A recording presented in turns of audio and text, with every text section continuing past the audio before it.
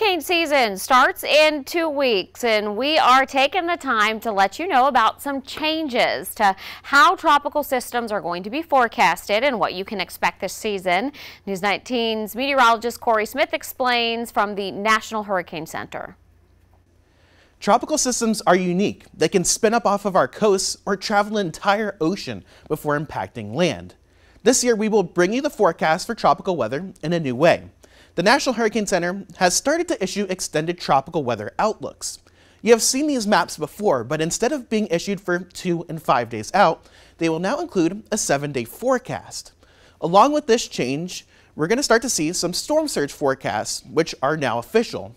This product from the National Hurricane Center will allow us to better communicate coastal impacts from these storms. The tropical forecast cone will not see any major changes this year, but we have seen it shrink in size over the past two decades.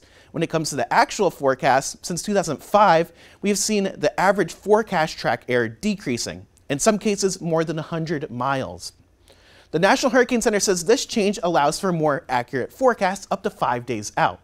This trend can be seen in error numbers that continue to fall each year, leading to a better track when hurricanes approach the coast. From the studio, I'm News 19 meteorologist Corey Smith.